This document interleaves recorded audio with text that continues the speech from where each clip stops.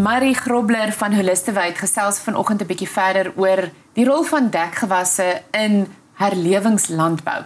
Marie, baie welkom hier by Grootplaas weer eens. Dankie Mia, dis 'n voorreg. Ehm um, vertel vir my 'n bietjie. So ons het gister nou so lekker gesels oor die die rol en die doel en die belangrikheid van om dekgewasse weet op op die regte tyd te plant en volgens 'n pl plan te plant. Nou, as ons kyk na dekgewasse, waar pas dit in die groter prentjie van herlewingslandbou? Nou die tema van herlewingslandbou is ek hoor dit oral deesdae. Waar pas dit ja. in? Ja, ek dink daar's 'n paar komponente van herlewingslandbou en dekgewasse is een van dit mm. en dis 'n baie belangrike komponent. Mm. Maar ek dink saam met dekgewasse is dit belangrik om ook 'n uh, 'n paar dinge anders te doen. Natuurlik. Ehm um, uh, ons kan nie dieselfde patrone volg en dieselfde resultate verwag nee, nie. Nee, natuurlik kan mens nie. Uh so saam met saam met dekgewasse wil ons graag eintlik jou biologie in die grond verbeter, mm. aan die gang kry, organiese materiaal in die, in die grond kry en aan die mm. gang kry.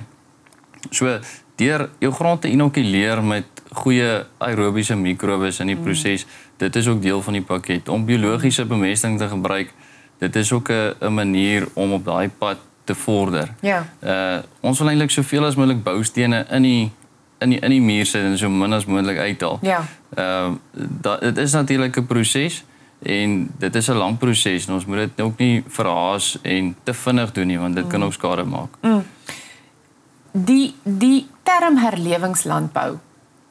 Voel dit vir jou asof dit meer en meer opkom ook? Ehm um, asof dit amper vir meer boere 'n prioriteit word? Hoe ervaar jy daai dit? Ja. Ehm um, definitief. Ek ek dink uh party mense wil dit doen om geld te spaar. ja. Ehm um, en party mense wil dit doen vir die regte redes. Hulle reg omgee, ja. En ehm um, omdat hulle weet wat wat gebeur in die grond mm. en omdat hulle weet wat geproduseer moet word. Mm. Want ons as boere het ook die die verantwoordelikheid om kos te produseer wat mm. gesond is en om kos op die tafel te sit vir mense en mm. jy moet weet iemand gaan dit eet mm. en jy moet jy moet met 'n skoon gewete dit kan doen. Mm. Ek het net gister ook gesels oor daai daai chemiese komponent wat wat natuurlik in die grond ingaan nou. Ehm um, dink jy dit is belangrik om die chemiese komponent of insette in landbou te verminder?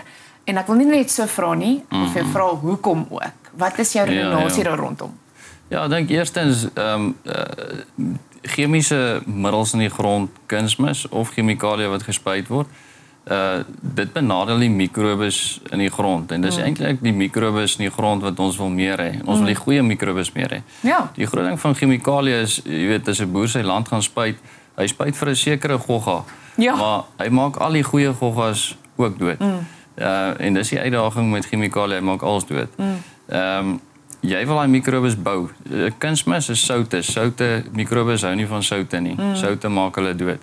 So dit is eerstens belangrik vir die vir die grondgesondheid en tweedens uh vir dit wat geproduseer word. Mm. Ongelukkig ons stelsel uh boere word nie vergoed vir mm. kwaliteit nie. Boere word vergoed vir kwantiteit. Ja.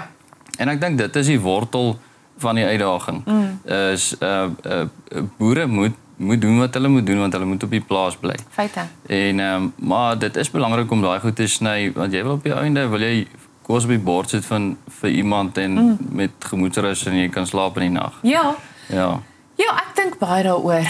Dis ehm um, want die feit is die kos moet op die tafel gesit word. Ja. Ongeag, nê? Nee? Ja. Ek ja. Uh, ek dink as ons ook kyk na die proses om oor te skakel van konvensionele landbou na herlewingslandbou volgens jou, hoe behoort daai proses te lyk? Is is dit 'n kwessie van dat jy op 'n punt kom waar dit net te laat is of kan mens kan mens dit eintlik enige tyd optel en hoe behoort dit te lyk? Ja, ek dink is nooit te laat nie. En ek dink eerstens is belangrik om die boer op die plaas te hou. Mm. As mens kyk na wat in Europa al gebeur het onlangs, jy weet, waar boere uh uh deur sterk regulasies beheer word om nie chemiese middels te gebruik nie. Ek dink nie dit is die praktyk wat gevolg moet word nie. 'n boer moet eers op die plaas kan bly en nog steeds die somme laat klop ja. en nog steeds die paemente kan betaal. Ja. Uh soos eerstens jy dit moet 'n proses wees mm. om 'n stelselmatig te doen is belangrik. Mm. So om om van die bewerkings wat die ondergrond en die bogrond meng na vlakker bewerkings toe te gaan. Mm. Grondtipe speel ook 'n groot rol. Daar's daar's ook nie net een model wat alles uh alles gaan pas nie. Mm. Maar om, om van aggressiewe bewerkings na minder aggressiewe bewerkings toe te gaan is belangrik en dan om soveel as moontlik chemikalieë en chemiese middels te verminder mm. en dekgewasse in te bring, biologiese middels in te bring, uh biologiese en aerobiese mikrobes in te bring uh wat jou grondgesondheid gaan bevorder. Mm. Uh jy wil alles wat vir jou die werk kan doen, wil jy inbring mm. en alles wat jou soldate wat die werk moet doen ja. en gaan wat hulle gaan doodmaak, mm. wil jy uitfaseer. Mm. Mm. Dis eintlik maar die proses. Mm. En jy wil dit stelselmatig doen. Jy wil en jy kan dit stelselmatig doen. Jy kan ja. Nee, dit is nie iets wat oornag hoef te gebeur nie. Ja, jy weet ons het 80 100 jaar gevat om die grond af te breek. en ons verwag soms ons wil hom in 2 jaar ja. weer bou. Ja. Dit werk nie so nie, ons sal 'n bietjie geduldig moet mm. wees. Wat sal jy sê stap 1? Ek dink stap 1 is as jy ploeg, hou ploeg. Ehm um, ja. ja, mm. uh, moenie die ondergrond en die boergrond mekaar meng nie.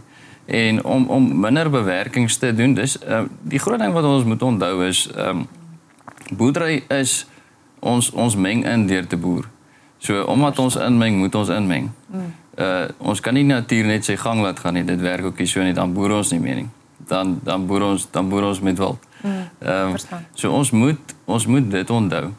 Uh en en met daai proses volg om om stelselmatig bewerkings uit te skakel mm. en en minder te maak. Mm. Uh, en dan chemies definitief dieselfde proses wat jy met bewerking sou volg. Mm. Meer aggressiewe chemie, eers te los, minder aggressiewe mm. chemie gebruik en dan selfs dit uit te faseer met tyd. Ja. So ek is nogal geïnteresseerd rondom die die debat hier rondom. Nou jy het vroeër gepraat en jy het gesê dat dis nooit te laat nie. Mense kan dit enige tyd begin implementeer.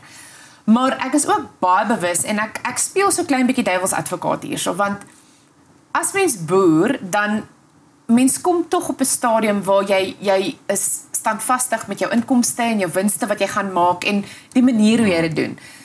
So ek weet ons gaan nou nie 100% kan sê wees vir wees teen, maar ek dink jy het meer te doen met met boere. So wat is daai algemene indruk? Want voel dit nie tog is boere nie partykeer bang dat hulle hulle hulle winste of hulle oeste gaan 'n bietjie hmm. kleiner wees as hulle ja. hierdie doen nie. Ek sit geïnteresseerd.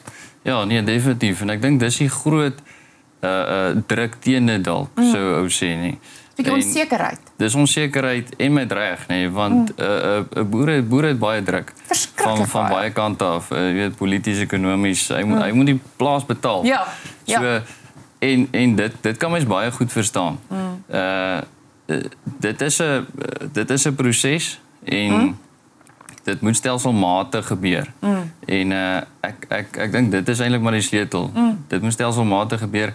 Ehm um, dis dis 'n ehm um, ja, dis dit bly maar 'n oop debat konstant mm. en dit bly 'n proses. Uh, ek dink die beginsel om dit stadig te doen en om te meet en te sien wat is die resultate en om in die proses seker te maak jy sny nie jou eie keel af nie. Natuurlik. Dit is belangrik. Sal jy sê ek is bietjie oor dramaties as ek sê ehm um, dit is in 'n mate 'n bietjie van 'n risiko neem? Ehm um, ja, ek dink daar's uh, seker goed wat meer risiko is as ander. Ek dink om te begin met die goed wat die minste risiko het. Mm. Soos byvoorbeeld dekgewas het, dit het nie baie risiko nie. Mm. En om om jou swakste lande mee te begin is belangrik. Mm. Uh nie jou lande wat wat eintlik jou paemente gaan betaal nie. Ja. Wat, ge, gebruik die lande wat jy in elk geval dalk 'n mis hoe sou kry ja. om te eksperimenteer op mm. en om hierdie goed te begin op. Mm.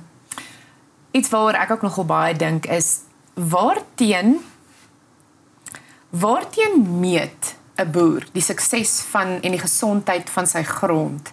Ehm um, meet jy dit teen jou opbrengste? Meet jy dit teen jou buurman se opbrengste? En waarteen behoort jy dit te meet? Hier is 'n ja. bietjie filosofies. Ek dis ja, net ja. dis vir my so lekker want ek weet hier is die wêreld waarin jy lewe.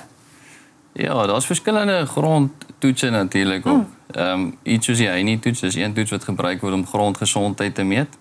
Ehm um, ander maniere om grondgesondheid te meet is om eintlik monsters te vat van die grond en onder 'n mikroskoop te kyk en te sien wat se mikrobes is in die grond. Ja. Uh deur dit te toets aan opbrengs natuurlik is is 'n maatstaf.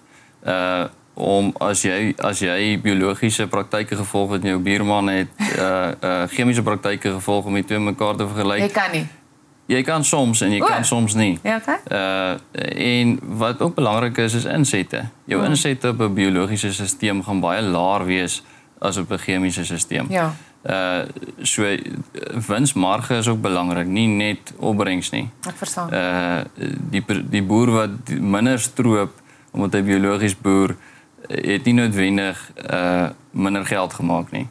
Uh sy 'n insette was laag. interessante stukkie feit. Mm. Ek uh, is dis regtig lekker om met jou hieroor te gesels. Nou ek dink as ons sommer kan afsluit bietjie met um net praktiese wenke want ek is ook altyd bewus van mens hoor gesprekke en mens um ja, jy luister, maar dit is baie keer intimiderend om dit daai stap 1 te vat. So praktiese wenke van jou kant af as jy nou 'n ideale model vir iemand so kan oorhandig. Wat sal jy as 'n as 'n beginnerpakket vir herlewingslandbou om jou prosesse te verander? Wat sal jy voorstel? Ja, ek dink eerste eerste praktyk begin met dekgewasse. Ja. Dekgewasse ehm um, daar's daar's min goed wat jy nie kan regkry met dekgewas nie. Dit is amper die groot steen in die gebou. Ja. As jy dekgewasse deel van jou stelsel het of jy of jy minimum bewerking doen of nou-til doen of konvensioneel is, dekgewasse en om bio, uh, biologie in die grond te kry, diversiteit in die grond te kry. Mm. Uh, dit is die plek om te begin. Mm. Soos soos wat jy kan en soos wat wat dit moontlik is om bewerkings te verminder, mm. om chemiese insette te verminder. Uh dit gaan die proses net versnel. Mm. En in die in die proses om soveel as moontlik organiese materiaal in die stelsel te kry, soveel as moontlik biologie in die stelsel te kry, die regte biologie. Uh dit sou my benadering wees, mm. ja. Ek moet sê deur met jou te praat, voel dit net asof ek weer my hoed net spreekwoordelik vir ons boere wil afhaal want jy moet omtrent ehm um, by alles betrokke wees en jy moet alles weet op enige gegee tyd. Ja, beslis. Marie, ek waardeer jou tyd. Dankie dat jy ehm um, ja, vir die afgelope 2 dae met ons kom kuier het en ons bietjie ingelig het. Uh ek sien uit na die volgende gesprekke. Dankie Mia, dis 'n voorreg. Dit was dan nou Marie Grobler van Holistewyd en ja, herlewingslandbou. Miskien vind jy dit interessant en nou weet jy waar om te begin.